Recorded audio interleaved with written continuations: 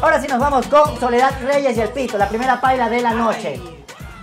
Unas revelaciones realmente escabrosas donde no quedan bien parados, en especial Mario Canesa, que es el dueño de una importante eh, radio y medios de comunicación aquí en nuestro país. Le llaman el dueño del fútbol en Ecuador. Así de pesado es Mario Canesa. Sin embargo, Soledad dice, no le tengo miedo ni a la muerte. Así que Canesa, aquí va lo tuyo. Ruédalo.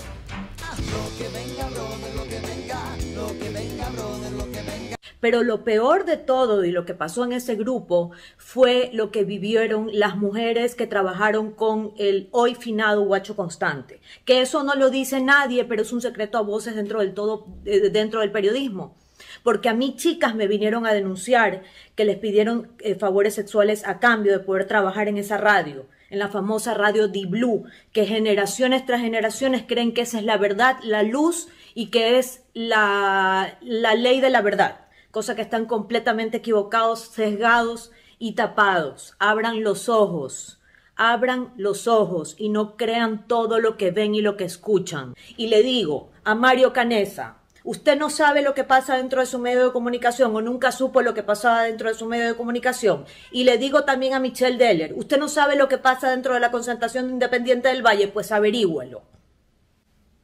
Y por último, con respecto al tema de la señorita Vallas, quiero aclarar, no dudo de su integridad como mujer, porque ella sí se cuidó mucho de esa situación de la cual hablé anteriormente.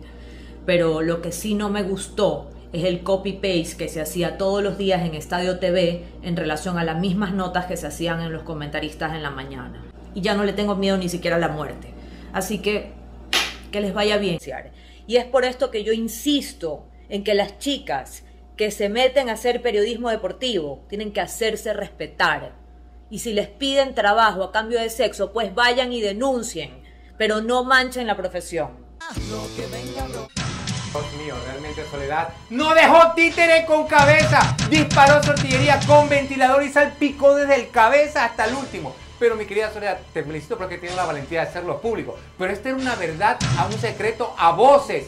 Todo el tiempo se, se comentaba este tipo de cosas. Lo triste es que muchas y no quiero decir nombres porque realmente quería ofender, pero muchas chicas, muchas reporteras y periodistas de aquí aceptaban ese casting de cama. Iban, ¿por qué? Casting horizontal. Casting horizontal, después agachaban cabeza, ¿por qué? Porque querían estar ahí, porque querían estar con sus ídolos, porque querían estar dentro del fútbol. O sea, primero pasaban por las otras pelotas. Por supuesto, primero por otras pelotas y después por la pelota de los jugadores, porque también ahí, ahí también se cosas.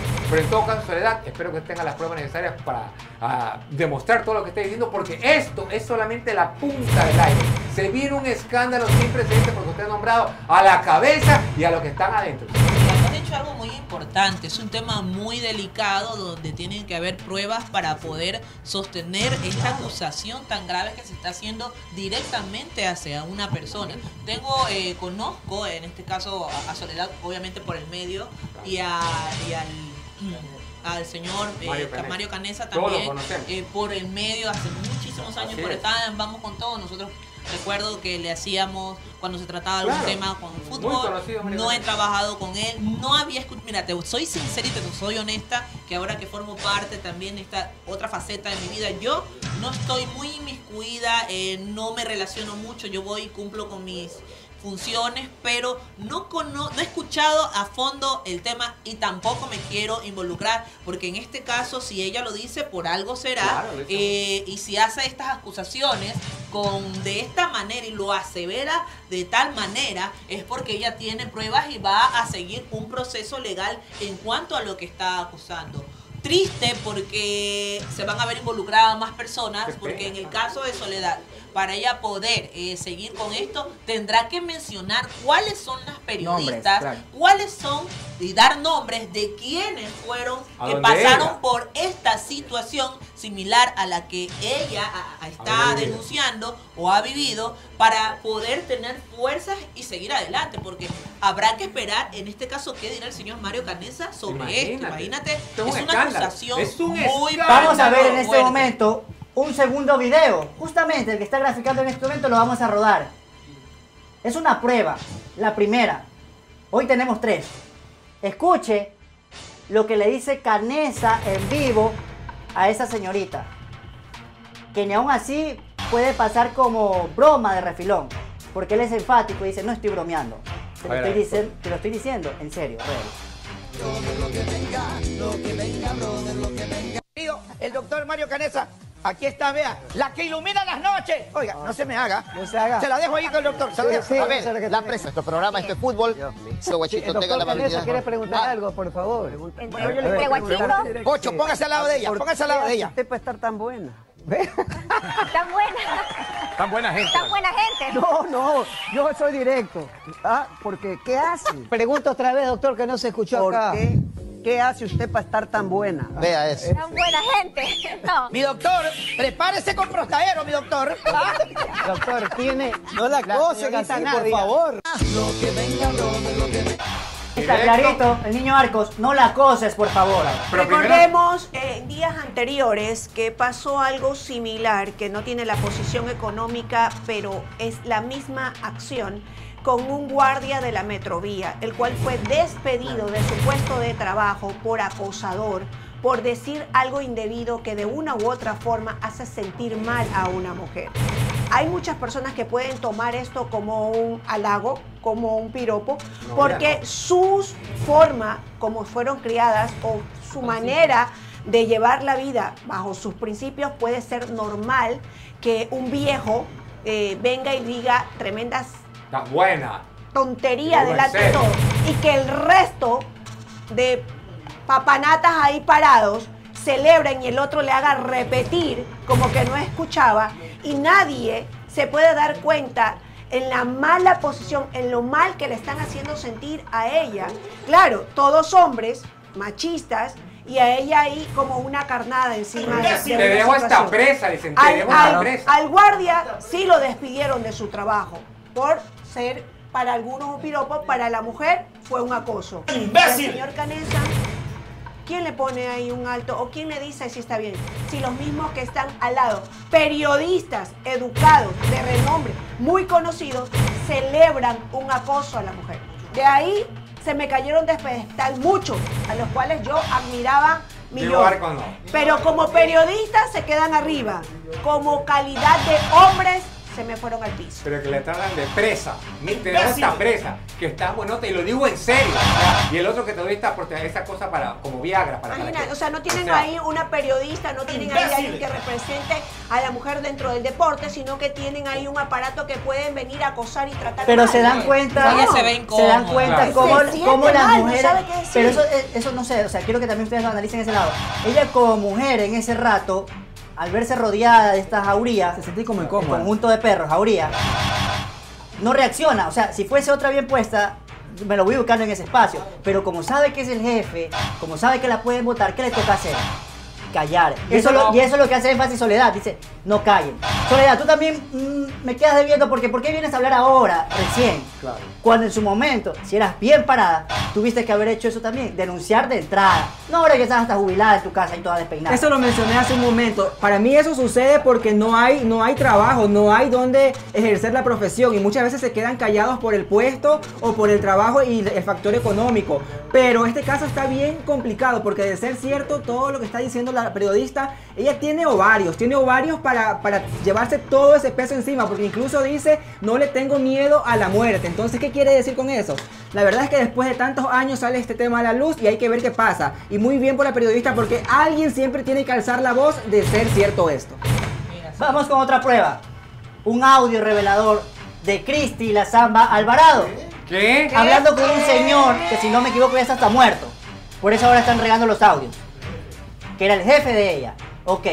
Le dice, y los viáticos para cierto, cierta cobertura que tenía que hacer. Y, él- y ella indignada reclama y dice, me han dicho que no me dan viáticos porque yo no saludo de beso y abrazo a los jefes. Que para que me den el dinero para poder tragar, tengo que besarme a alguno de ustedes. ¿Qué? Veamos.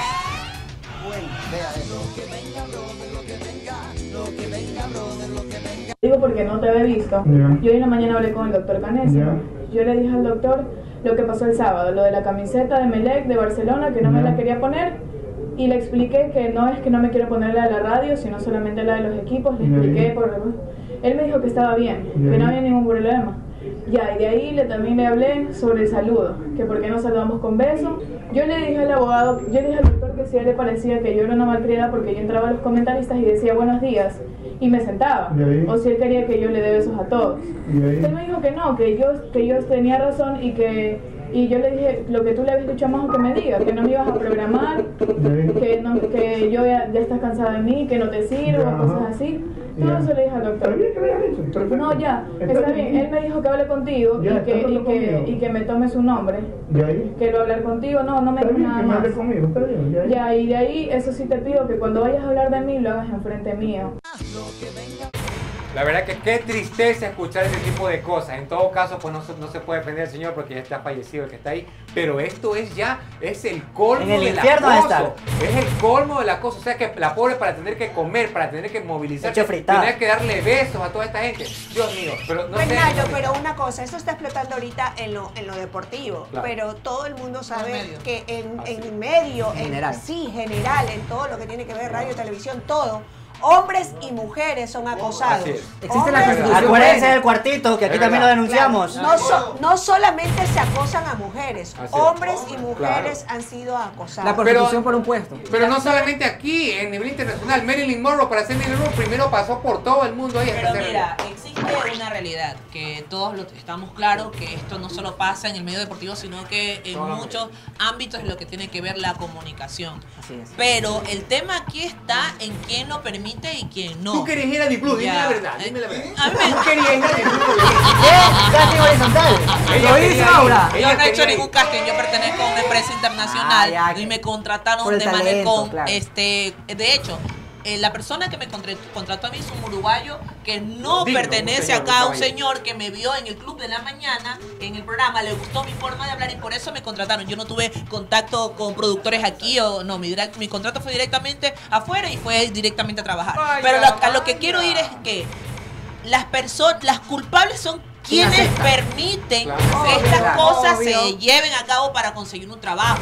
Porque muchas veces cuando nosotros decimos no, cuando se dan este tipo de situaciones, Dios es tan bueno que nos abre oportunidades en otras partes. Yo creo que a más de una tiene que haberle, y me incluyo, en algún momento alguien te ha hecho alguna propuesta indecente para que tú hagas algo. Pero el tema es aquí está en tu personalidad como mujer, qué es lo que Así quieres, es. tus valores y tus princi- pri- principios, Principios. en aceptarlos o no. Lo que escucho y puedo entender en el caso de Samba, eh, la, la, la Samba Alvarado Cristi, que es mi amiga, la quiero muchísimo, es que ella no permitió la situación. No. No, la había permitido y de tal manera La que por eso es que viático. no se le pagaban sus haberes que Como por de derecho, ser. por su trabajo, tenían que pagárselos. No. Triste que recién se hagan público este tipo de situaciones cuando una persona ya no está viva Claro. y es que se ha, ha- es. abierto la, la, la olla caja- del la caja de Pandora, la caja de. Pandora y que se, empie- se empieza a exponer esta situación que asumo para muchas va a ser vergonzoso Claro. que la estén mencionando en este tipo de situaciones.